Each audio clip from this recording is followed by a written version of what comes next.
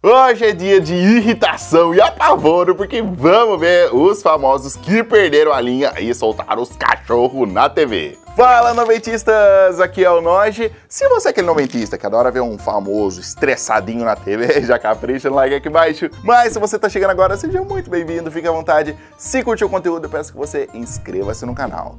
Combinado? Então bora pro vídeo! Zezé de Camargo e Luciano estavam no Faustão e falavam que é preciso valorizar mais o artista brasileiro. Bastou isso pro Faustão aproveitar para descer a lenha nos gringos. A realidade tá aí, tá na boca do povo, tá, é disco vendido, música na novela. Eu acho que o que é bom fica, independente de gênero, independente, a gente tem que boicotar aquilo que vem de fora, aqueles gringos que vêm de cá e É verdade isso aí, ó. aqui. Tem um monte de merda de fora. Semana passada veio um tal de Scorpions aqui. Os caras encheram o saco aí atrás, eu fiquei sabendo depois. Se eu tô sabendo antes, os caras não cantam aqui não. Que é o seguinte, o brasileiro precisa acabar com essa maria de lamber o saco quem vem de fora. Tem muito Tá cara, tem o Sting, tem James Taylor, tem um monte de gente boa, que merece ser recebido com o maior respeito e carinho.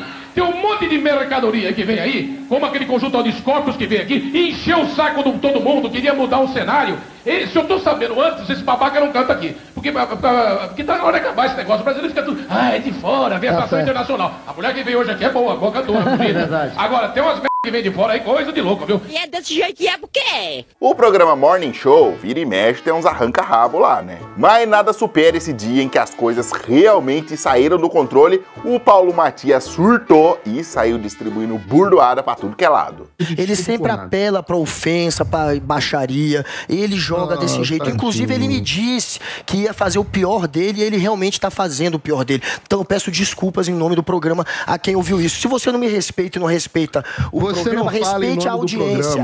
Respeite Você a não fala em nome do audiência. Não Você tá aqui pra cumprir tabela. Você Por favor, o microfone dos dois, porque ninguém aqui fala em nome do programa. Quem fala em nome do programa aqui sou eu. Se vocês querem ou não querem, é assim que funciona. E agora eu quero fazer uma pergunta pra vocês. Você dá um minutinho aqui, Guga, porque não é a primeira vez que você quer falar em nome do programa aqui, não. Quem fala em nome do programa aqui sou eu. Você fique quieto e não fale em nome do programa. Nem muito, nem muito menos o Paulo Figueiredo vai trazer aqui palavras de energúmeno. Vocês dois aqui vão tentar deixar o nível mais alto possível. Vamos parar com essa porcaria aqui, porque eu tô de saco na lua já. Vamos parar, por favor. Quem se coloca aqui sou eu e quem manda aqui sou eu. Você me respeita. Me respeite, por favor. Já não é a primeira vez que você quer falar sobre o programa. Não é a primeira vez que você quer falar sobre o programa. Você baixa a sua bola aqui, meu queridinho. Enquanto tem alguns apresentadores que se estressam com problemas técnicos, o Datena já defende a equipe quando é injustamente culpada pelos BO ao vivo. E o César Cavalcante, rapidão, parece que tem a ver com cemitério clandestino, não é? É o que fala o César Cavalcante aqui. Caiu coisa nenhuma. Não é que caiu, não. É que o cara sai, vai comer lanche. Não veio meter o pau na nossa equipe técnica, que a nossa equipe técnica é a melhor do Brasil. Não, não digam isso pra mim, não. Eu odeio quando falam que, ó, caiu o link quando não caiu. A pessoa tem que estar atenta e falar. Senão, o, o técnico, que é o, o cara que trabalha pra caralho aqui pra botar as coisas do ar, leva a culpa. Eu não gosto disso. Vamos ver a Letícia Gil. Põe na tela o latino. Me vejo obrigado a concordar com palestrinha. A gente sabe que muitas vezes o programa de fofoca fica enchendo linguiça para poder soltar a notícia. Mas nesse dia a Kátia Fonseca perdeu as paciências com tanta enrolação. Ó, vou te falar, Eliana. Eliana. a gente tem reviravolta na história da Eliana, que a Cacá trouxe pra gente aqui com exclusividade. Tem reviravolta nessa história. Você vai ver o que vai acontecer. Tem reviravolta? Tem. O que aconteceu com a Eliana? Olha, teve uma reviravolta. Sim, você já exatamente. disse uma vez. Você pra terceira. A gente já só não uma reviravolta. Uma reviravolta teve, teve uma reviravolta. Ninguém Você não nada, sabe, teve uma reviravolta. Eu não sabe disso. Para de me enrolar, anda logo. Tá enrolando. O jornalista Silvio Janini, bem que tentou fazer uma pergunta esquisita e bem provocativa para Cristiano Oliveira, na época fazendo a Juma em Pantanal, mas ela não gostou nem um pouco e mandou aquela resposta afiada. Você acha que se a Juma não tirasse a roupa na novela, ela teria o mesmo sucesso? É um personagem suficientemente cativante para. Eu acho, olha, é o seguinte, eu acho que a Juma só ficou nua na novela três vezes. A gente está com quatro meses de Juma no ar. E continua não, não crescendo, quer dizer, ela não diminuiu o ibope dela porque ela não tirou a roupa.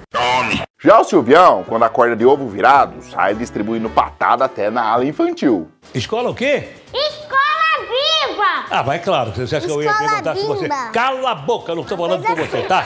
Não Estou falando com é ele. Bimba. Não seja metida. Ah, que coisa. Quem sabe você vai ganhar dela. Se você ganhar dela, você prefere ganhar que prêmio? De 10 mil reais. Quanto? 10 mil reais! Tá ficando maluco que eu vou É te dar 10 dois. mil reais. Ah, Cala é a dois. boca que ninguém falou com você. Deixa de ser exibida, deixa de ser metida. Cala a boca! E ai daquele que fica dando dica na prova do bichigão do ratinho. Isso aí é regra inquebrável. Atenção, em que parte do corpo humano fica a rótula? No, na orelha! Pescoço. Na cabeça, no cabelo, no ginebrinho, no nariz, no marquito, no marquito! Joelho, Joelho, Vem, sai fora, sai fora do programa. Você sai fora do programa. Você sai fora do programa. Você tá. Sobe, sobe, sai fora. Augusto, tira ela daqui se ela não sair. Tá, não pode dar dica aqui, vai lá. Te lascar! Vamos lá. Tira aqui pra quê então? Sobe daqui, meu. Sobe daqui, mano. Sobe daqui. Sobe daqui. Sobe daqui. Sobe daqui. Já nesse outro dia, o Little Mouse deixou bem claro que não gosta das piadolas do Sérgio Malandro. Se alguém vai, me- vai, me, vai me bater, eu vou me defender.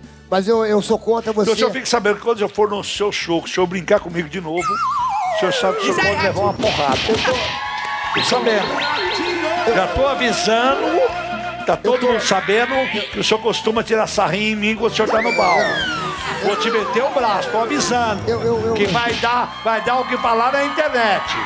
Eu, eu, eu, me, eu, já- eu me admiro o senhor falar da minha pessoa. Vou te falando, nós vamos entrar na porrada, eu não vou arregar pra tu não, hein? Já Cláudia Raia perdeu as estribeiras pelo motivo de o jornalista não sabia o nome do seu futuro baby. Já tem nome, bebê? Não acompanhou? Ah, tá desculpa. Você tá péssima. Ana Maria Braga, menina. Luca. Só você que não sabe. Desculpa, querida. Jornalista, né, amor? Tem que saber, né? Tem que saber, mas eu não Então. sabia que você estava aqui hoje, meu bem. Desculpa, mas não Nada, não tudo por bem. É só porque o mundo sabe. Então, O mundo sabe, que é, bom, o, né? o Luca eu não conheço. Você não ouviu falar disso? Não, eu ouvi, mas... Mas você não captou. Ela que... Entendi. Sei nem quem é, mano.